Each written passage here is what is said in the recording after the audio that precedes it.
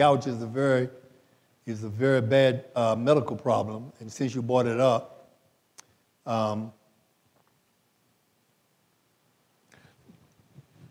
men and women, we used to think that women didn't get gout, but we've now found, found out that, we, that they do.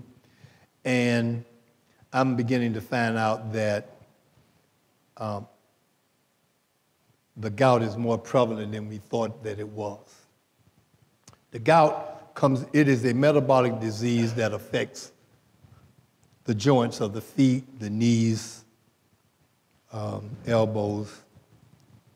It comes as a result of too much uric acid being in the system.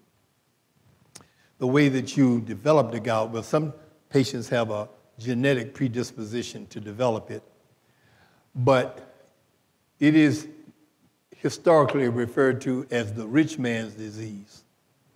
And the reason that they call it the rich man's disease is because people who ate a lot of beef develop a high uric acid level. Other things that can cause high uric acid levels in the Charleston area is eating seafoods, shellfish, shrimp. When you develop symptoms of the gout, it is one of the most painful diseases uh, that, that you, that's, that's known to man. It usually affects the big toe, okay? And it doesn't go away unless you go get treatment for it. Um, the treatment is very, um, very good, and within three days we can probably make it go away. But it'll come back if you resume the lifestyle that you were leading before you got it.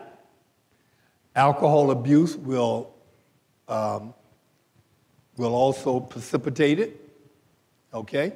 So, what we try to do is uh, we try to control it by giving you medications that you have to take over a lifelong period of time. A lot of people, uh, the, the medical literature now is suggesting that if we don't control it, it can really cause other problems, particularly with the heart. High uric acid levels, and heart, there's beginning to be a correlation between high uric acid levels and gout. So we can uh, tell you whether or not it's under control by drawing blood and knowing what the uric acid level is. So, and we, we're beginning to see it more with people who are diabetic also. Okay? So if you do have the gout, it's nothing to play around with. If you do have it and you have not had your uric acid level checked, you need to check it because the uric acid level can be high and you may not have any symptoms. That's dangerous. Okay?